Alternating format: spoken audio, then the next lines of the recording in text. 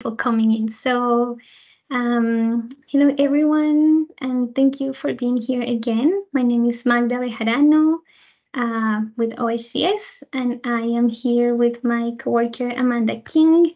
Um, we are gonna talk to you today about the funding opportunity for homeownership language access and community outreach and engagement. Um, I think hopefully you're in the right webinar. Um, I'm going to let Amanda introduce herself too, and we will both be sharing information with you today. So Amanda.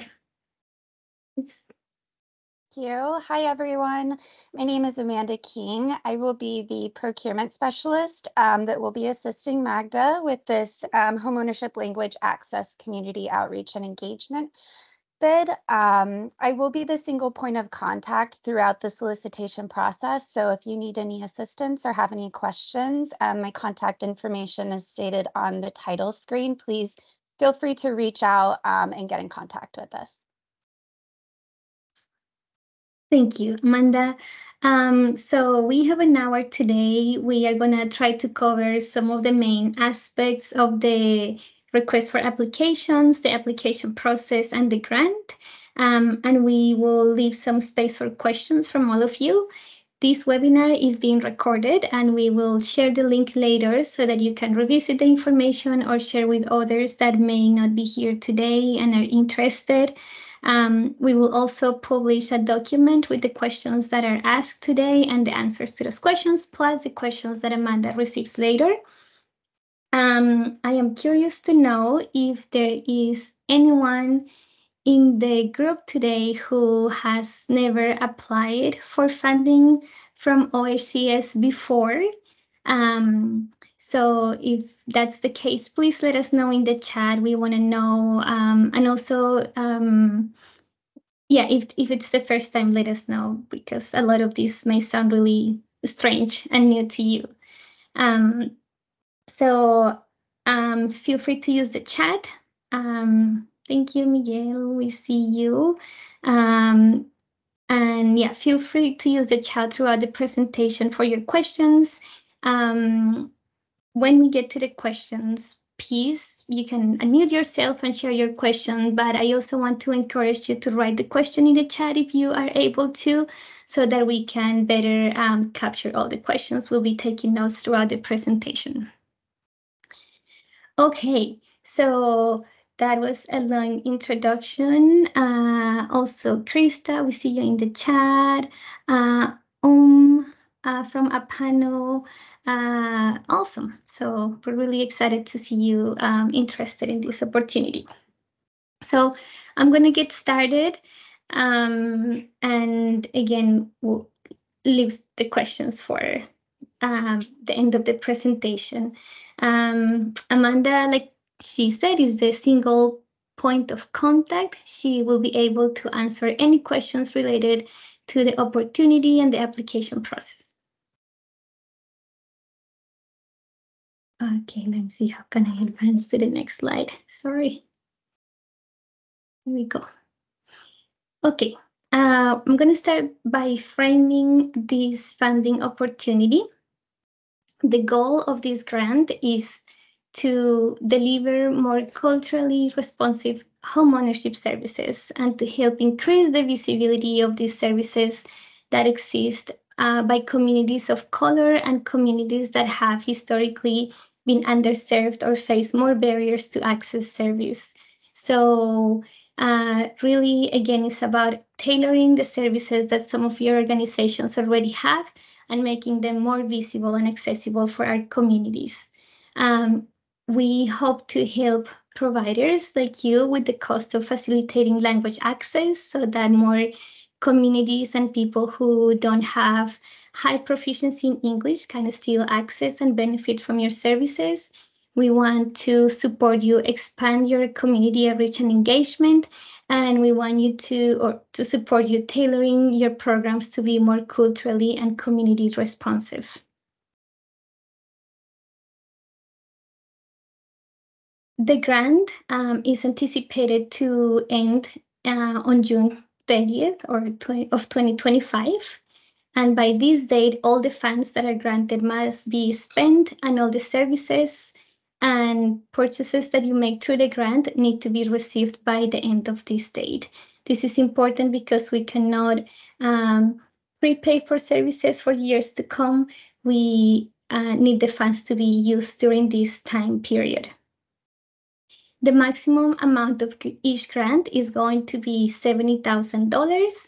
Um, you can up to that amount request the amount that is appropriate for you and for your organization. Um, I have this chart um, showing how the grant is distributed. So within the grant amount, you can use 10% for administrative costs, and you can use an additional 13% to help covering the cost of the staff um, to implement the activities of the grant.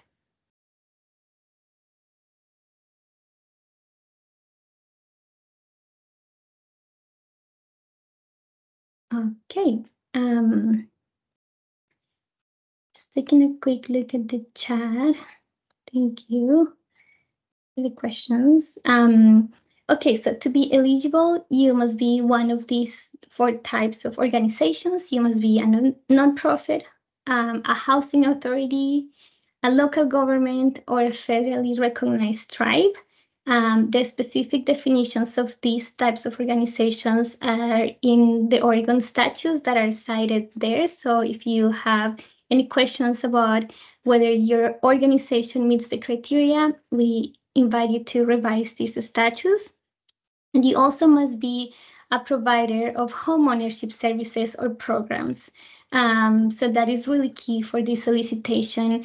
And you must serve households that have income um, under the 100% of the area median income of the area that you serve. So if you serve statewide, you must serve um, households with income under the AMI of the state. If you serve a group of counties or a county or a city, you want to make sure that the, the households or individuals that you serve are under this income threshold.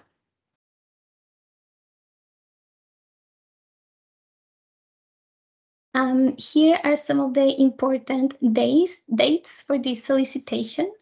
Um, the pre-application conference is today. Um, you have time between today and May 17 to review all the materials um, and send any questions that you may have about the process or any requests for clarification. You would send those to Amanda to her email address that we shared at the beginning and we'll share again today. Those questions need to be received by 4 p.m. Um, on May 17th. Then we will respond to those questions by May 24th. Um, there is a protest period if any organization uh, feels like there's an aspect of the process that needs to be challenged. Um, the schedule for that is a little variable, I would say, is defined in these Oregon rules. So um, also, we encourage you to visit that, to review it, and to let us know if you have any questions. The last day to apply is June 7th at 4 p.m. So we have over about a month for you to complete the application and send it to us. Um, we intend to let grantees know of their awards by the 12th of July. Um, and then there's also a period uh, to protest any awards um, defined in, in Oregon rules. We encourage you to review that again and ask us any questions, any specific questions that you may have. Mm, I would say that because this is a very regulated process, especially for the organizations that are here applying for the first time, these uh, the procurement rules are very strict in some ways. Uh, so it is very, very important that you send your questions and apply within the time frames uh, because unfortunately, any minute after uh, the deadline, we may have to reject the application. So it is really important to try to stay within these dates and time frames. Okay, and um, so these two slides are um, about the activities that these funds can help you with or help your organization with. We have divided the activities into, into two categories. The first one we are calling language access, and those are activities that facilitate um, accessibility of programs to community members with limited proficiency in English. The second type of activities um, are focused in community engagement and outreach. So the RFA provides detailed um, explanation of both activities and the expenses or some of the expenses that are allowed under each activity. Um, I'm going to go over this quickly, but language access includes any translation of programs, materials, um, your website, anything that helps promote home ownership and home buyer services into any non-English language spoken by uh, community members in your area of service. It also includes interpretation, providing interpretation for any language, including American Sign Language, and that could be interpretation in person, via telephone, virtual, so any, any different type of interpretation that you may need. Um, it includes informing the public about your language services, letting them know they can request it, and that can be done through social media, printing signs for your office, updating materials, updating your website, um, working with community partners. So just in, in different methods to let people know that these services are available um, it also includes developing a language access plan, which is a very specific type of plan to provide language services um, for organizations that have never provided language assistance. This could be a good first step. It's not, you don't have to, but it could be a really good step to plan for the future about how to more consistently and sustainably provide language access services. And then we wanted to build in some flexibility. So any other activities that you feel can contribute to increasing access by community members with limited English proficiency, we are glad to consider. Um, so if you don't see an activity here that you want to implement, you want to propose that as part of your application, the application has a space for these other activities. We just want at, we want you to tell us about that activity, tell us how you want to implement that, and what would be the um, the costs related to that activity. One more thing I want to say, um, I'm sorry, I, I, feel like I'm saying so much, but uh, one more thing I want to say is that in the RFA document, each activity has a list of what we are calling allowable expenditures. So it's um, it's a non-inclusive list, but it's a guide of what expenditures we think align with the goals of the grant, with the values of the agency, and it's just a guide to help you plan um, how to how to spend those funds. Okay. Um, Community outreach and engagement includes activities that help you promote your services through events um, or marketing, and that that again includes any type of marketing like printed materials, radio, TV, um, social media. You can partner with local ethnic media to do these um. You can host sorry, events. You can host events or you can attend events in the community in areas where um, you know that your services typically don't reach those areas. You can host an event there. You can partner with the community. So there's a lot of options in that category or activity.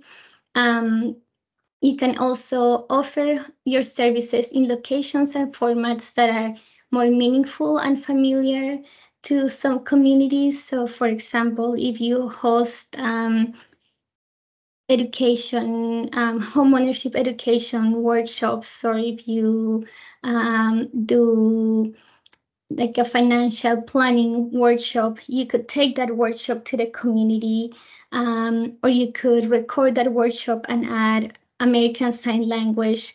So any type of um, just kind of taking your services and, and changing the format so it's more accessible, those costs can be covered under this, that second activity. Um, we can also help you purchase or develop materials or curriculums that are more um, culturally responsive and reflect the diversity in your service area, um, whether that is video, audio, printed, updating your website again.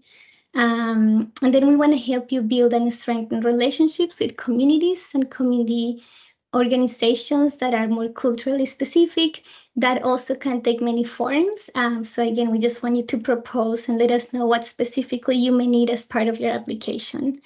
Um, this category also includes some training for staff um, about access, civil rights, equity, diversity, inclusion, um, I encourage you to see the details. We also included, like in the language access, a list of allowable expenditures.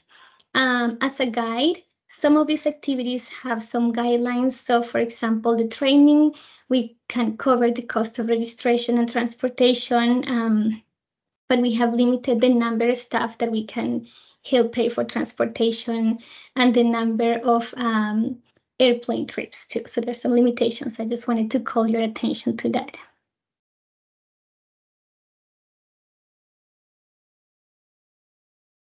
Okay, so if you are awarded a grant, um, you will submit quarterly reports on your activities and expenditures.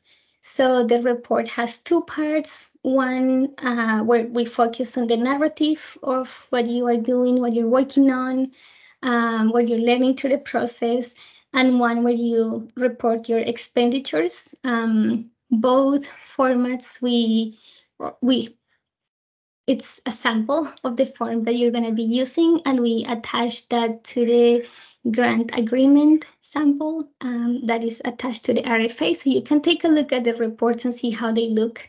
Um, let us know if you have any comments or questions about those two um, the estimated due dates for those reports are October, January, April, and July after the end of the grant.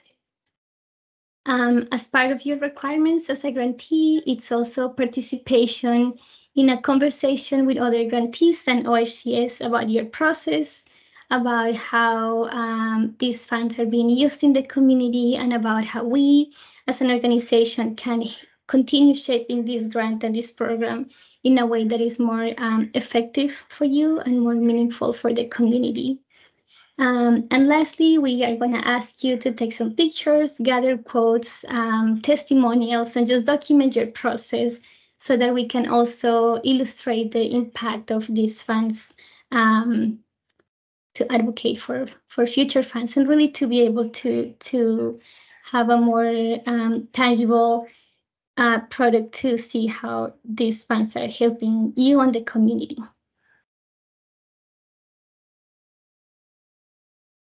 Okay, um, before applying and to apply, uh, we want you to register in Oregon Buys, and I'm going to pass it on to Amanda to just let us know and let the people who are new what's Oregon Buys and why it is so important that all of you, if you want to go through this opportunity, are registered in Oregon Buys. So Amanda, I'll pass it to you.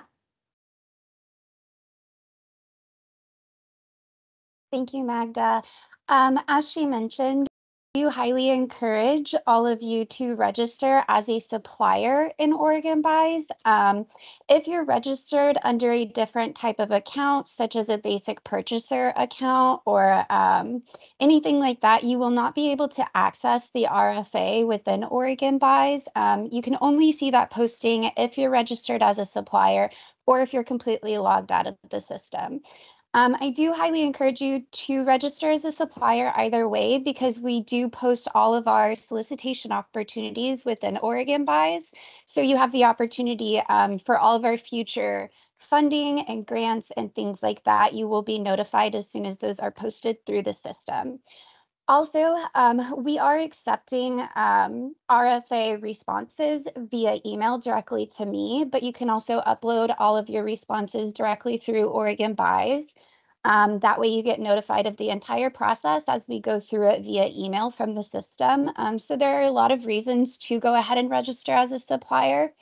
If you decide to start that process and you run into any issues, please contact me via email or my cell phone number. I'm happy to help you guys out with that. And if you have any struggles um, when it comes time to posting your response to the RFA, I'm also here to help you guys with that either way. Um, if there are any questions about registering as a supplier, please feel free to reach out to me or post those in the chat and we can talk about it at the end of the presentation. Thanks, Magda. Awesome. Thank you, Amanda. Um, I was just looking at the questions. There's some really good questions. So we'll go over that. We're almost done here. Um, let me just cover a couple more things and then we'll um, start with the questions.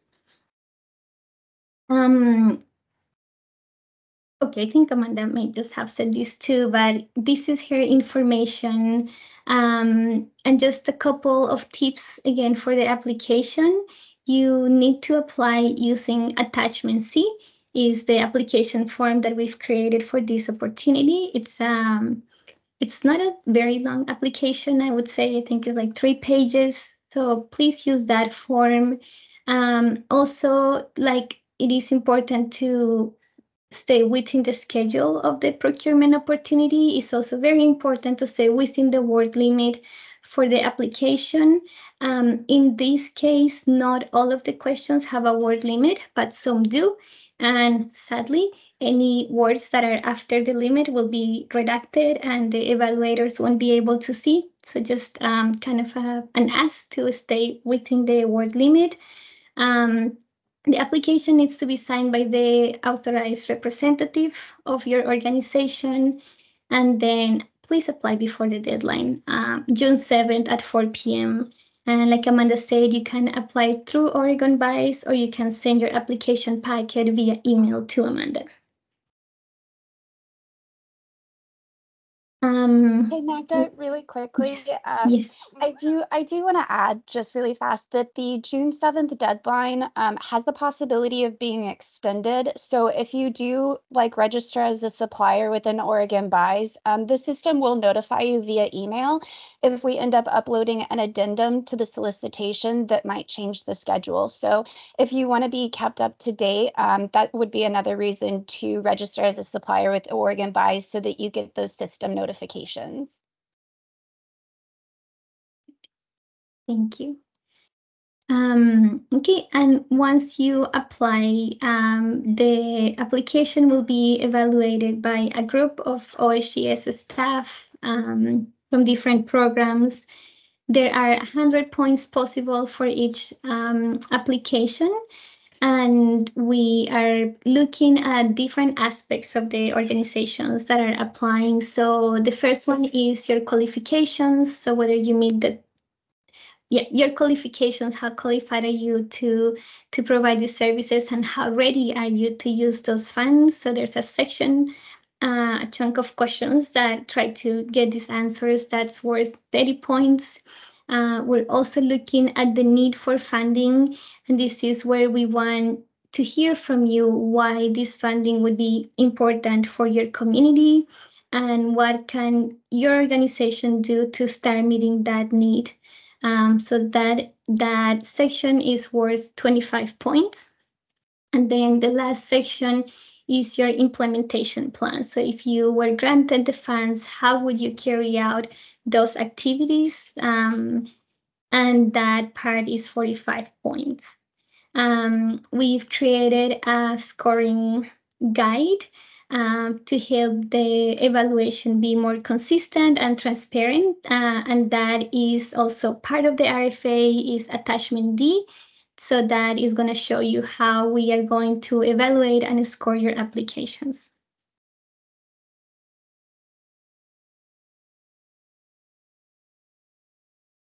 Okay, so I think uh, we've gone through most of the uh, big aspects. So I'm gonna just look at some of the questions in the chat. Um, and then if anybody, if anybody wants to unmute and ask questions also, please feel free. Um, I think the first question I see here is about staff time being limited to 13%. And what if the staff person is the, if a staff person will be the person um, that's providing language services? So this is a really good question. I, uh, when I talked about the allowable expenditures in for each activity, um, the translation and interpretation activities have some um, limitations in in how the funds can be used. I think the the most important thing to note is that we want uh, we're hoping that translation and interpretation services are provided by professional translators and interpreters. So we can only allow up to 13% of the grant for staff time. However, we uh, prefer that the translation and interpretation services are contracted with professionals. Um, there's several ways to demonstrate professional proficiency as a translator uh, or interpreter. So there's some options that are also explained in the RFA, but it is important for us to try to um, just have translations and interpretations that are um, of very high quality because of the materials that we are translated, the complexity of the home buying process, home buying education, financial education, um, sometimes mediation services too, and process that involve a lot of legal vocabulary. Um, so uh, having been bilingual and and being a translator or interpreter have different skills. We know bilingual people who are bilingual have different levels of proficiency, um, and they have different levels of proficiency in in both languages. Um, so to ensure consistency and accuracy and quality, those um, services should be contracted uh, are just provided by professionals. Um, the materials of the RHA, RFA um, will be posted in Oregon Buys. This question, I think that's what this question is. Will you be sending all the materials via email? Uh, so all the materials of the RHA, RFA um, application attachments um, and samples of documents are posted on Oregon Buys and you'll be able to see them there when you are registered.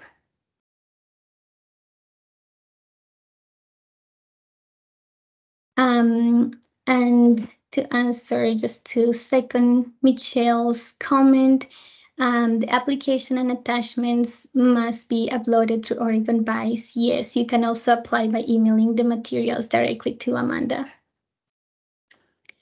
Um, will you show us where and how to submit an application through the portal? So that's a good question. I'm gonna go back to the slide um, for Oregon Buys really quickly. Magda, I can also jump in on this one. Um, yes, please. We're happy to assist if, if you run into issues, but we did detail um, instructions in the RFA, it's under section 4.5. Um, we give detailed instructions on how to submit your application through the system. However, if you run into any issues, um, feel free to reach out. We'll try our best to help. You can also reach out directly to Periscope or DAS, um, which I'm happy to provide their email. If you have any system needs that we can't help out with, um, they usually reply pretty quickly. Okay, awesome. Um, and here in that slide is are also those that contact information for you. Um, okay. Um, they register me as a vendor. I was able to access the RFA. I'm assuming supplying supplier and vendor are the same. Um, I think Amanda, that question is for you. Um, supplier and vendor, um, I, I think are used interchangeably in the system. Um, they should be the same type of account. If you um, are having trouble pulling it up even under a supplier account, please reach out to Periscope. That's not something that we can assist with at OHCS, um, but that email and their phone number is linked right there. And to go ahead and answer, this kind of is in line with some of the other questions after this. Can you register multiple users um, from the same organization? This is not something that we have the answer to. I highly encourage re reaching out to Periscope with that email or phone number and asking them. Um, you might be able to, but that's just not something we have the answer to. So if that's what you're struggling with, please reach out to Periscope under the email and they should be able to assist you that way. And Amanda, what about this next question is how can we tell if we are registered as a supplier or not? Um, that's a good question. You should, let me, you should be able, when you sign into your account, it should tell you under your account if you, at the top right at the top right corner of the Oregon Buys homepage screen, when you're logged in, it has an icon with a little person in it, and that's basically where you go for your account. Under your name, it should tell you what type of account you're logged in under. So if I'm logged in right now, I see it's under a basic purchasing account. If you see anything other than supplier or vendor, um, you probably are not logged in under the right account. But that is another Periscope question. So if you believe your account is a supplier account and it's not showing as that, please reach out to Periscope. Okay. Thank you. Um, this next question is why Oregon Buys and not Procorem? Um, and Scott, I think the answer is that both of those have different functionalities. So we will be actually using both. Uh, through Oregon Buys, you will receive all the materials, communications about the RFA, uh, you'll be able to apply to Oregon Buys and follow your application process to that. Uh, is a system that we use for once you are granted. When, once you have a grant, Procorem is a system that we use just to exchange files. Um, so we'll have some, that's where you can upload your reports. Uh, we will send some communications through them.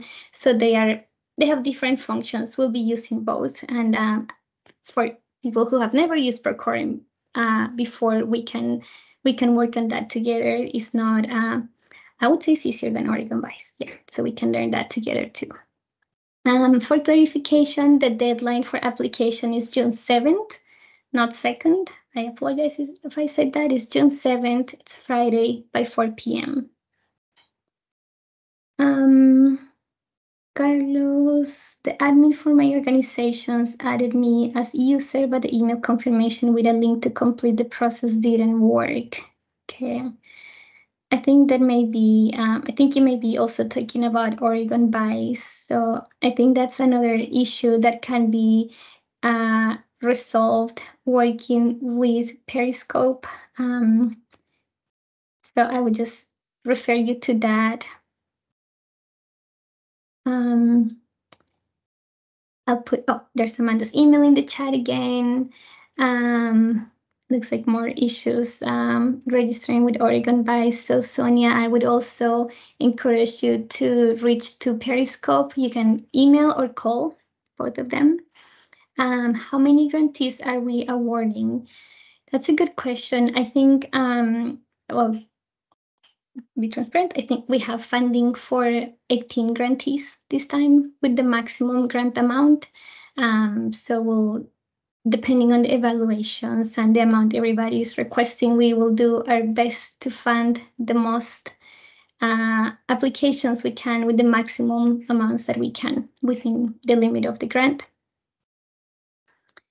Um, yeah, so 70,000 is the maximum award. Um, some organizations may request less funding. I would say that uh, this is the second time that we offer this grant. The fair, and, and it's also um, an offering of this type with funding for language access and community engage is, I think it's unique. Um, so there's a lot of learning and preparation that applicants and grantees have done to decide how to use these grants. Um, so the need may be different for each region. The capacity to use these uh, funds may be different. So it is okay to apply for a smaller amount and, and start like learning the process um, it is okay to apply for a smaller amount and focus on one or two activities. Um, it is also okay to apply for the full grant and have a more comprehensive plan. So really it depends on where your organization is in the spectrum, uh, what's the need in your community, what's your capacity to implement these. Um, so there's no preference for like smaller or bigger applications. Uh, you just tell us the need and what's your capacity and we'll evaluate that and work with you in that way. Um, is it possible to see the evaluation criteria again? Yes, let me go back to that slide. I don't remember, maybe it's after this. Um, and again, it's also posted in with the RFA. And we have the um, evaluation guide, guide, which has very detailed um, very detailed information about how each question is scored. So there in the screen, you can see the three areas that we'll be focusing on, qualifications and readiness, the need for funding, and your implementation plan. Um, we employ professional translator interpreters in our organization. Can this be applied not as a staff time, but as a professional interpreter? Hmm, that is a good question. Um, I want to say um, maybe yes, but I think I want to take that question back uh, and and discuss it internally just to make sure that I am giving you an accurate answer. Um, and we'll we'll respond to this in writing. So thank you for that question. The link to the document detailing submission via Oregon Buys has an error. Okay. If you're experiencing um, any issues accessing the RFA, please feel free to reach out to me via email and I can help you with that outside of um, the pre-bid conference. However, um, if you're not able to access it due to an Oregon Buys error, please reach out to the Oregon Buys help desk um, and they should be able to support you. Okay. Um, Okay, I have a, here a question uh, by Um. It says, we're serving many different languages like Mandarin, Vietnamese, Thai, etc. Would you like us to apply as an organization to cover all the communities we're serving, or should our project managers apply for their own program language? Um, so um, I'm gonna try and answer, but if if I don't cover what you need, let me know. Um, I think many organizations cover like areas where multiple language communities live, um, you can create a plan to serve mm, several of those language speakers, or you can also decide um, if there's a priority, like for example, to do more translations and interpretations and community engagement with one or some of these communities. So I think it's up to you if the, if you want um, your plan to be to reach broadly or to reach more specifically to some of those communities.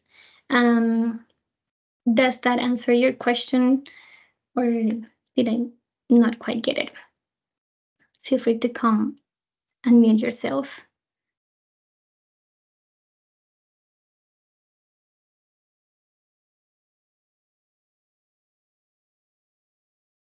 Um, while we hear from Um, I'm going to answer the next question about the start date of the grant. Is it the date of execution or the date um, we should expect, when should we expect the grant to be executed? So um, this year we are going to start the grant from the day you are uh, notified that you will be awarded.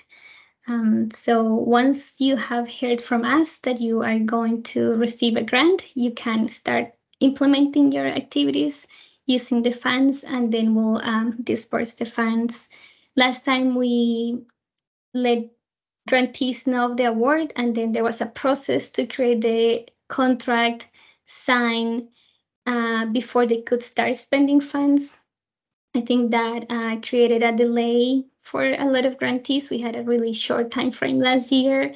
Um, so this time we want to do it differently. We are going to start from the date you are awarded the grant. Um, and Sonia, if you can sing um, how can you see the application while you resolve the registration problems? Yeah, I think this, again, this is something to work with um, Amanda and uh, with Oregon Buys Technical Assistance. Are the dollar limits to paying stipends to agencies or attendees if we are holding focus groups at other agency locations? Um, so we have um, dollar limits on stipends to community members um, that participate or are engaged in some activities. You will see which activities those are. Um, the limit is, I think, 120 up to $120 per participant per event. Um, there's no limits in in any like agreements or contracts that you do with agencies. Um, you may collaborate, contract with other organizations or agencies for specific activities.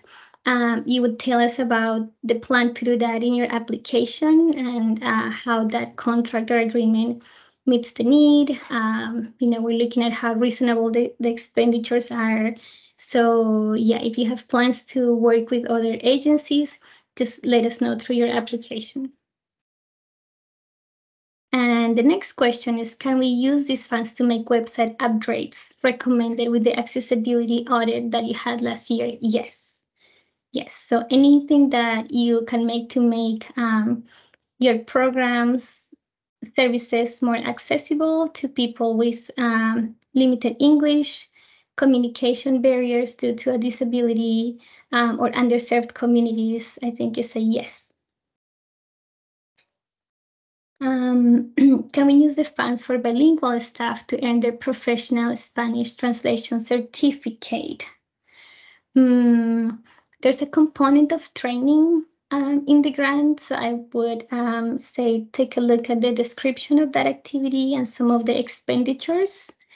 Um, we also want the funds to really be in benefit of the community um, you know, I think if this is something that you feel your organization needs, uh, we can evaluate it as part of your application.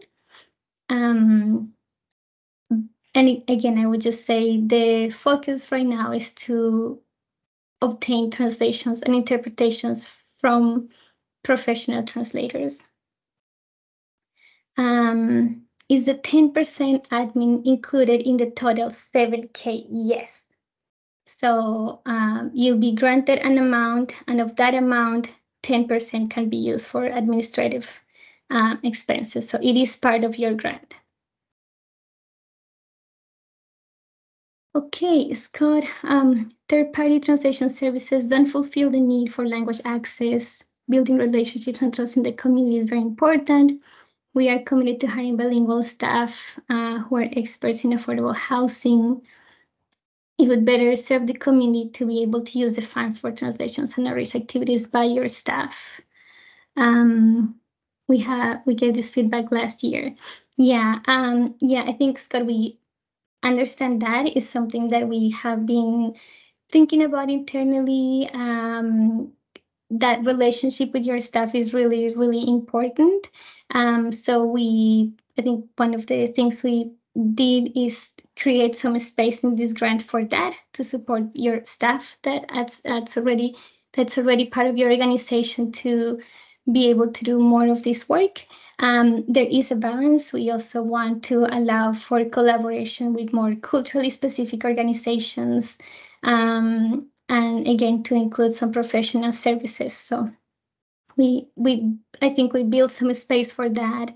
Um, but it is important that you look at the structure of the grant um, and kind of the values, and then within that, um, see how your the, the needs in your community can be met through the funds.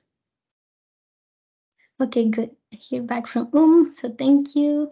Uh, sorry, you can. Oh my goodness, is everybody blocked? Is anybody? Is everybody blocked from from talking from unmuting? Okay. I'm to look into that um, right now. Okay. Um,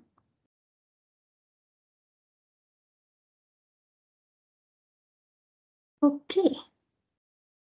Okay, so I think I've um, kind of covered all the the questions in the chat. Um, I'm going to um, if there's any additional questions, and you can type them. Um, I'm gonna take a quick look and see if I can allow allow um, you to unmute. I see some hands up. I see Miguel, you have a question, so let me see if I can. Okay, Miguel, I think you can ask your question.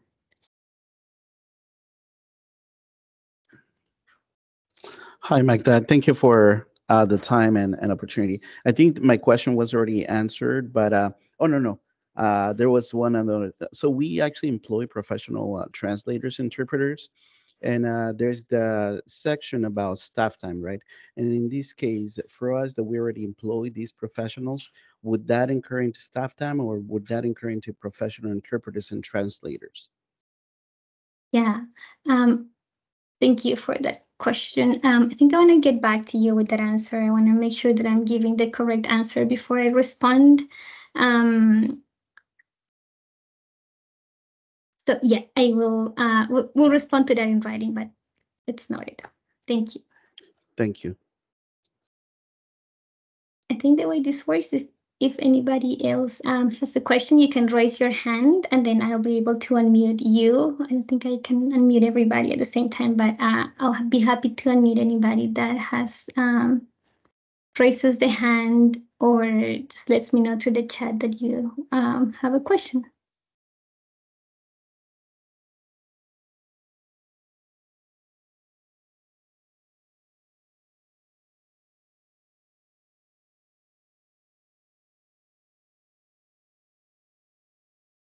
If anyone has any other questions after the pre-bid conference has ended, um, you all may submit those questions to me until May 17th at 4 p.m. Um, and then we will reply with all of your questions and answers in a document that will be uploaded to Oregon Buys. So this isn't your only opportunity to ask questions. Um, you have a little over a week left to submit any questions in writing as well.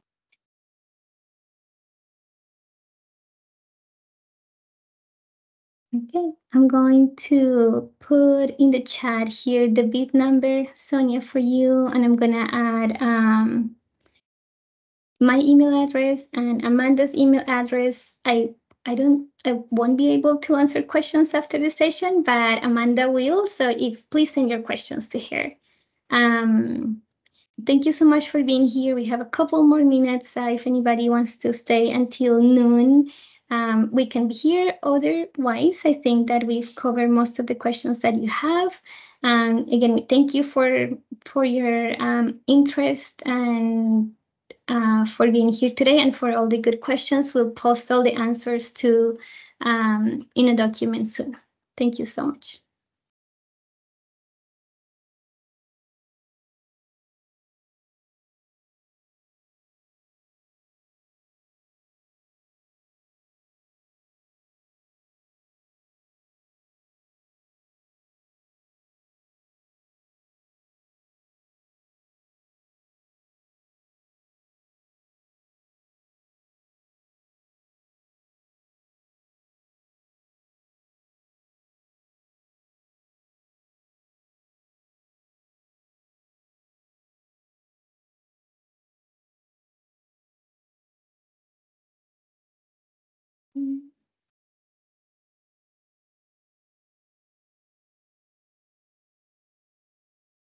Right, so there in the chat is uh, the bid number, Amanda's email address, um, of the people that are still here today, uh, or still, if you have a question, please raise your hand and I can unmute you. Um, okay, Sonia, you have a good question there. Can organizations reapply even if they have received the grant before? Yes, they can.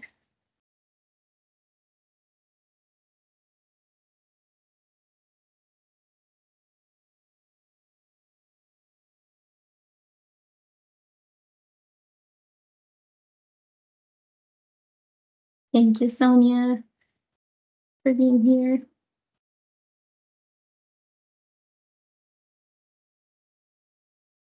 Okay, so I think I'm not seeing um, any additional questions. Um,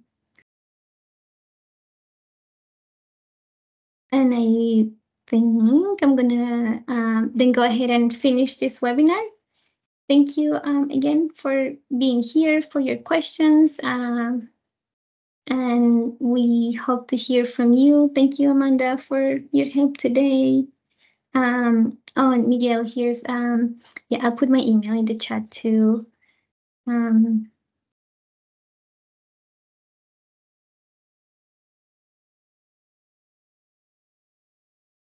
uh, Oregon. Here we go. Okay. There it is. All right. Um, I think we're we're good. Thank you again, and we'll we'll hear from you soon. Thank you, Amanda.